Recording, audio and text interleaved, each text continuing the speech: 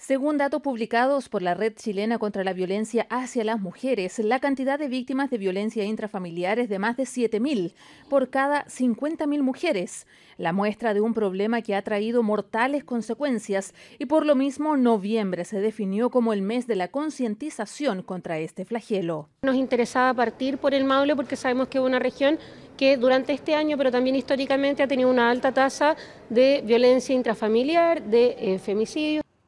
La secretaria de Estado se reunió con mujeres de San Rafael, Talca, Linares y San Clemente. En la Universidad Santo Tomás se certificaron monitores para prevenir la violencia, estudiantes del área social que tendrán la tarea de identificar la violencia hacia las mujeres para acogerlas en base a la no revictimización y orientarlas sobre la red de atención. Es alguien que en primer lugar conoce respecto a violencia contra las mujeres, sabe identificarla,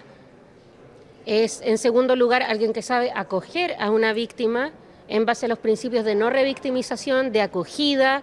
Y en tercer lugar, una persona que sabe cuál es la red de atención, a dónde se debe derivar. Se capacitaron durante seis meses, son 56 alumnos y son de servicio social.